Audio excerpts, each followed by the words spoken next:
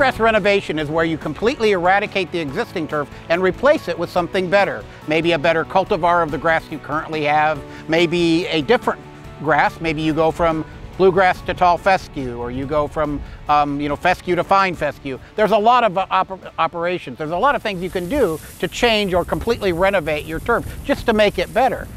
But one of the most important things is what do you choose and what kind of criteria to use to choose the right grass.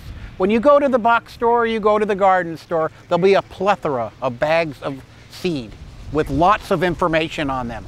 You should be reading close what's in that bag because some things like annual ryegrass, which is what it says, an annual is in there to get a jump start on the turf, but it's not going to be perennial. It's not going to last year to year.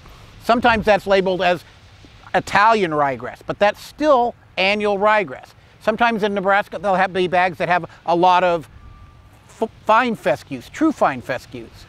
The true fine fescues, unfortunately, um, don't do well, especially in full sun in Nebraska. So you want to avoid those mixes that have that kind of those kind of grasses in them. So to meet those ends, we set up a trial at our research plots on campus where we took 10, 12 commonly available at local garden store seed mixes and we're not going to pick on the people that manufacture or um, make these available. What we are going to do is show you by species why some do better than others. We had a spring seeding and we had a fall seeding.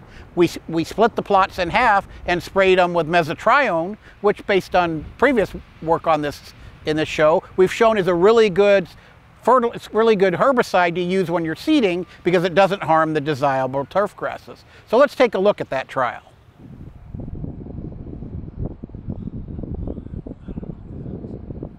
What we found out when we put all this data together is that any of the mixes, and you'll notice that we didn't mention the mixes by name. We're not bad-mouthing the companies. We're just saying it's up to you as the consumer to make the decision on what's in the bag, right?